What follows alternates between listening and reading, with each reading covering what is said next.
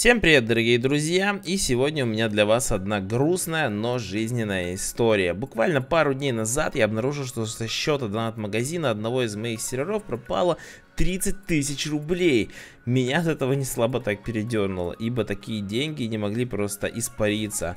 Поэтому я сразу начал проверять, куда они делись. И как оказалось, один из моих хороших друзей вывел их себе на Киеве кошелек. Я сперва подумал, что это какая-то шутка, или он решил меня потроллить, потому что от него воровства я не ожидал ни в коем случае. Я ему сразу написал что-то типа, какого хера ты украл мои бабки, чувак?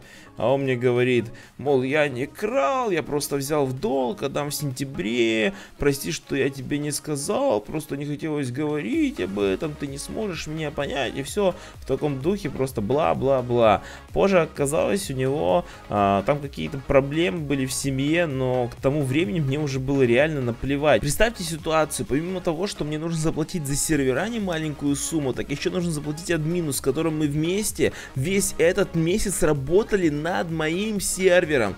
Дело даже не в деньгах. Если бы он просто попросил у меня эту денежку, может быть я смог обдумать все и найти для него нужную сумму. Но нет, он решил их взять без моего ведома. И это, ребята, капец как обидно. Человек, которому я доверял, от которого я вообще не ждал говна, оценил нашу с ним дружбу в 30 тысяч рублей. И это было отвратительно. Такая боль пронзила мое сердце в тот момент.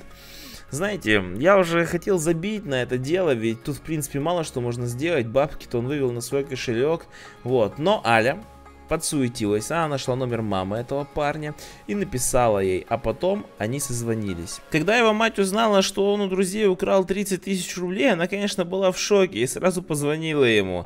После чего он написал мне в скайп и сказал, что вернет мне деньги. Однако вернул ему всего 21,5 тысяч рублей и сказал, я считаю, что заработал остальные деньги, работая на сервере весь этот месяц. Это одна треть от того, что сервер заработал за месяц. Но он туда заходил всего пару раз за весь этот чертов месяц. И в админке мало что делал. И оценил свою работу, хотя ее вообще не было, на 8,5 тысяч рублей. На целую одну треть от того, что заработал сервак. И знаете, после всего этого я еще не хотел делать про него ролики. Даже забил на эти 8,5 тысяч. Не хотел названивать его маме, ибо это тяжело тяжело, когда сын вора. Я не хотел делать ей больно своими словами, мне откровенно было ее жаль.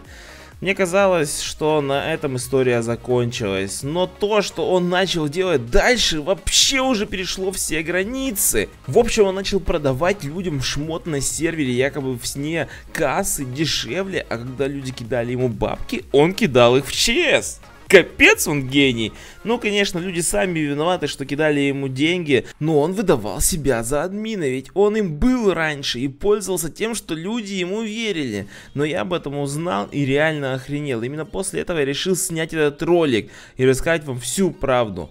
Подводя итоги, я хочу сказать, что я лох. Потому что я доверился этому человеку, а доверять никому нельзя даже самому себе. Но также я хочу дать вам важный совет. Если вы будете делать свой сервер или магазин или что-то еще, что будет приносить вам хоть какие-то деньги, то не берите с собой друзей, ибо деньги портят людей. И даже те люди, за которых вы готовы отдать жизнь, могут предать вас в любой момент.